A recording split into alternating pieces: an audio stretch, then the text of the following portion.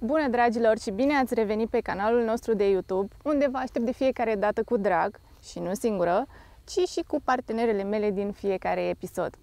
Astăzi am alături de mine o frumusețe pe patru roți, după cum bine puteți vedea. Este o mașină pe care îmi doream de foarte mult timp să o conduc și pe care abia aștept să vă prezint. Este vorba despre nimeni altul decât Volvo XC60, o mașină pe care, de ce spun că îmi doream de foarte mult timp să o conduc? Ei bine, întotdeauna am susținut faptul că dacă mi-aș permite o mașină din clasa premium, cu siguranță aș alege cu ochii închiși un Volvo în detrimentul oricărui alt brand de tipul BMW, Audi sau chiar Mercedes. Nu este de mirare că acest Volvo XC60 este de altfel bestsellerul celor de la Volvo, dacă ar fi să, să ne uităm un pic la cifre. Asta pentru că Potrivit statisticilor, în anul 2020, care știm cu toții că a fost un an foarte greu și dificil și plin de provocări pentru toată industria auto, ei bine, în 2020 Volvo a vândut aproximativ 200.000 de modele exact ca acesta. Asta înseamnă undeva la 30% din vânzările totale pe anul 2020. Acesta este un semn clar că Volvo XC60 mă suscită interesul cumpărătorilor constant și nu e de mirare având în vedere ce poate și ce oferă. Ei bine, haideți să descoperiți și voi acest Volvo XC60 împreună cu mine.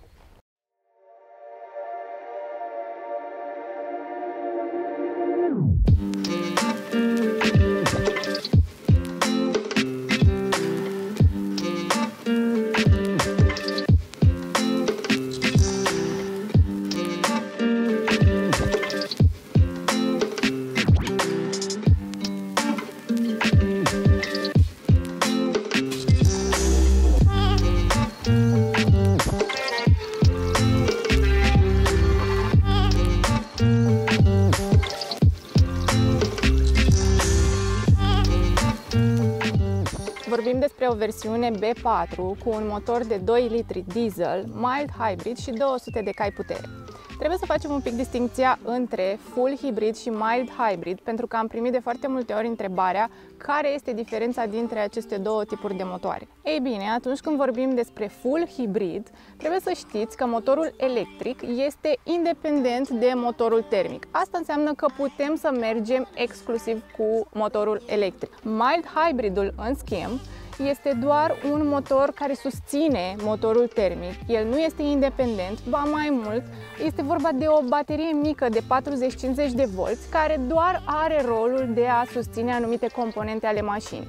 Fie că vorbim despre climă, de exemplu, sistem audio, poate reduce puțin consumul la plecarea pe loc sau uh, în mers, însă niciodată nu vei putea să mergi doar pe electrică atunci când ai o mașină cu uh, motor mild hybrid. La exterior, remarcăm câteva mici schimbări la nivel de design față de modelele mai vechi. De exemplu, în față regăsim grila frontală Inscription, deja cunoscută de pe celelalte modele Volvo, dar ce vedem nou sunt aceste ornamente inferioare în culoarea caroseriei și aceste ornamente laterale argintii, care mi se pare că se asortează foarte bine cu nuanța mașinii Silver Down. Farurile sunt full LED și au funcție Active High Beam, ceea ce înseamnă că lumina se adaptează în funcție de condițiile din trafic prin intermediul unui senzor care detectează farurile mașinilor din față sau ale celor care vin din sens opus și astfel adaptează intensitatea luminii. Avem încălzire în emblema care se regăsește în față, așa că oricât de frig ar fi afară, zăpadă, țurțuri, îngheț, cu siguranță mașina își va etala identitatea fără niciun fel de problemă. Mânerele ușilor sunt în culoarea caroseriei și un lucru fain este că au și lumini integrate, astfel încât seara să îți fie foarte ușor să deschizi mașina chiar dacă este întuneric. Pe lateral regăsim aceste bare longitudinale din aluminiu care dau un plus de finețe designului general al mașinii. Încă o dovadă că cei de la Volvo sunt foarte atenți la orice detaliu. De data aceasta, Volvo a optat pentru jante de 21 de inci impresionante, atât ca dimensiune cât și ca aspect. Observați cele 5 spițe tip V, a căror formă poate fi comparată cu un diamant. Eu la asta m-am, m-am gândit prima dată când uh, am văzut forma uh, spițelor. În spate regăsim porbagajul, care, așa cum ne-a obișnuit Volvo și până acum, este unul de mari dimensiuni, de 483 de litri. Ce îmi place mie însă în mod special este faptul că îl poți deschide hands-free. Asta pentru că există un senzor care simte mișcarea și dacă treci cu piciorul pe sub acest senzor, portbagajul se deschide automat. Este minunată această facilitate atunci când ai multe bagaje, când ai mâinile ocupate și ar trebui să le lași jos ca să poți deschide portbagajul. Ai pus ochii pe ea. O vrei? Ai dat totul să o prezinți familiei, să o conduci pe Transfăgărășani, pe coasta din Amalfi, prin Alpii din Austria, pe, pe riviera croată. Dar chiar ai dat totul? Adică chiar totul? Mai bine cauți o ofertă bună de finanțare și îți rămân bani și pentru alte destinații? Noi îți recomandăm să verifici ofertele partenerilor autovit.ro pentru credite de nevoi personale sau credite auto pentru viitoarea ta mașină nouă sau chiar rulată. La interior, așa cum vă spuneam și la începutul review-ului, veți vedea de ce această mașină este cea mai populară în rândul fanilor Volvo. În primul rând, remarcăm scaunele, care sunt din piele napa, perforate și ventilate, iar scaunul șoferului deține și funcție de memorie. Le poți regla electric, culoarea tapițeriei și de altfel nuanțele întregului interior sunt minunate și mi se pare că induc așa un sentiment de liniște, de relaxare și de spațiu. Nu că mașina nu ar fi suficient de spațioasă, însă aceste nuanțe foarte deschise de bej uh, amplifică senzația de, de spațiu. Volanul este unul în trei spițe, îmbrăcat în piele și este reglabil pe înălțime și telescopic. Aici am identificat un mic minus, în sensul că aceste comenzi de pe volan nu sunt foarte inteligibile pentru șofer. Eu abia după ce am apăsat pe ele mi-am dat seama că, de exemplu, cele din dreapta reglează volumul muzicii. Panoul superior de bord și fețele de ușă sunt și ele îmbrăcate în piele sintetică, iar la praguri regăsim ornamente interioare gravate cu numele brandului. Nu pot să nu menționez ceva și despre Ambilight, care practic completează atmosfera exclusivistă ce se creează în interiorul acestei mașini și care mie îmi place la nebunie. După cum vedeți, sistemul de infotainment este unul uh, imens și ce îmi place foarte tare este că este orientat pe tip portret. Acest sistem de infotainment are uh, Android integrat, pentru fanii Android să navigheze pe acest display va fi floare la ureche, însă pentru posesorii de iOS, printre care mă număr și eu, va fi ceva mai dificil la început. Deși utilizez Waze în mod constant, de data aceasta am folosit Google Maps-ul din uh, sistemul de infotainment al mașinii și am fost plăcut surprinsă. Aproape că pot spune că navigația se mișcă mai bine decât pe telefon. Iar un lucru care îmi place și mai mult la sistemul acesta de navigație este că îți oferă o perspectivă de ansamblu asupra traseului, tocmai datorită orientării de tip uh, portret. Cu toate astea, mi se pare un pic incomod faptul că Volvo a renunțat aproape de tot la butoane și că toate comenzile pot fi acționate prin touchscreen. De exemplu, atunci când ești concentrat la drum, cred că devine dificil să dai swipe, swipe prin meniu ca să acționezi uh, anumite comenzi. În ceea ce privește posibilitățile de încărcare a telefonului, pentru că știu că și acest lucru este important, pot să spun că am avut două mici dezamăgiri.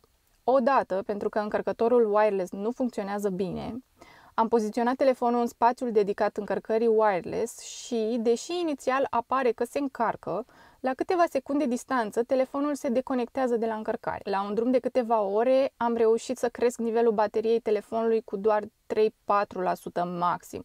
Și cred că nici pentru telefon nu este foarte sănătos să fie conectat și deconectat constant de la sursa de încărcare. Și totuși, dacă am văzut că încărcarea wireless nu funcționează, am căutat portul USB ca să pot conecta telefonul la fir și astfel să îl încarc uh, convențional.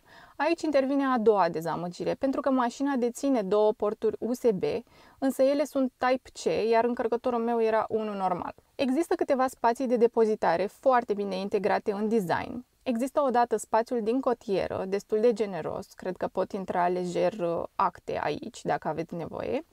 Apoi, mai există spațiul destinat cănilor și paharelor. Și nu în ultimul rând, mai există un spațiu micuț în față unde avem și o priză de 12 V.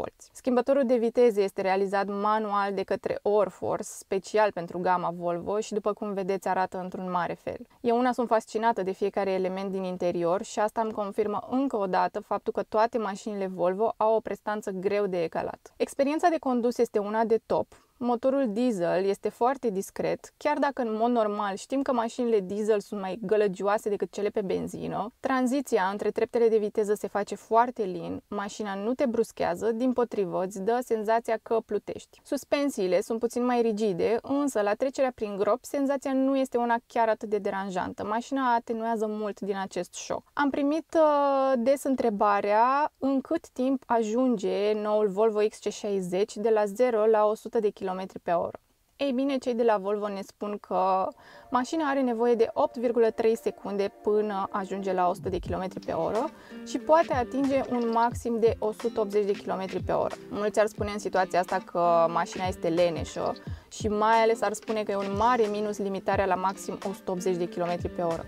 Însă, așa cum vă spuneam, pentru Volvo, prioritar a fost întotdeauna siguranța, așa că pentru cei care sunt în asentiment cu ei în ceea ce privește aceste valori, nu ar trebui să fie un, uh, un motiv de, de supărare. Și mie mi se pare o mașină foarte potrivită pentru o femeie, având în vedere că puține sunt cele care preferă viteza în detrimentul constanței și siguranței. Dacă tot vorbim de siguranță, o să vă enumăr și câteva dintre facilitățile acestei mașini la capitolul Safety. Avem cruise control, lane assist, senzor de parcare 360, sisteme de avertizare pentru coliziuni, asistență și setări pentru reglarea modului de condus.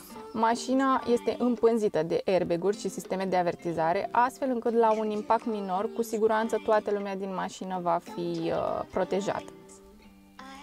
Hai să vorbim și despre cât costă această mașină. Prețul de pornire pentru noul Volvo XC60 pleacă de la 56.600 de euro pentru varianta standard, iar această versiune cu toate dotările opționale incluse ajunge undeva la 70.000 de euro. Este o sumă mare, într-adevăr, însă, așa cum vă spuneam și la începutul review-ului, dacă mi-aș permite o mașină din clasa premium, cu siguranță aș alege acest uh, Volvo. Cam asta a fost pentru astăzi. Dacă v-a plăcut acest review, vă invit să dați like și share. Nu uitați să vă abonați la canalul nostru de YouTube. Până data viitoare, vă pup!